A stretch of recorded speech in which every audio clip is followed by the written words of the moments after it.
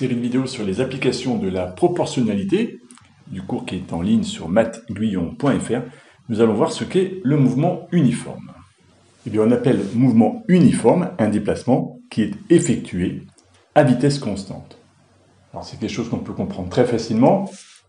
Aujourd'hui, par exemple, avec les régulateurs de vitesse, une voiture qui roulerait à 130 km/h sur l'autoroute pendant une heure, admettons, eh bien, on pourrait dire que son mouvement est uniforme, son mouvement est effectué à vitesse constante, uniforme, qui ne change pas. Et une des applications concrètes, c'est que par exemple, sachant que je roule à une vitesse de 50 km/h, eh bien on pourrait me demander de remplir un tel tableau, ce qui n'est pas très difficile.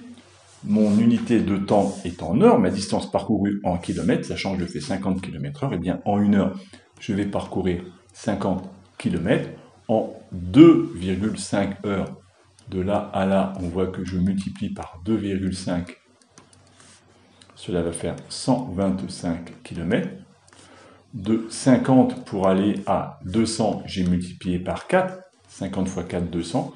Donc 1 fois 4, 4. Et enfin, pour 175, on peut se rendre compte que 50 plus 125 est égal à 175, donc 1 plus 2,5 est égal à 3,5.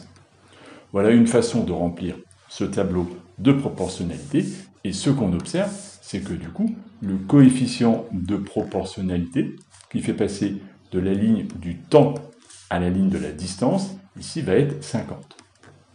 Et 50, c'est évidemment la vitesse du mouvement uniforme. Cela nous amène à cette propriété que le coefficient de proportionnalité d'un mouvement uniforme est sa vitesse. La vidéo suivante expliquera comment calculer des vitesses moyennes. N'hésitez pas à cliquer en bas à droite pour vous abonner et retrouver l'ensemble des informations sur le site mathguillon.fr. Bon courage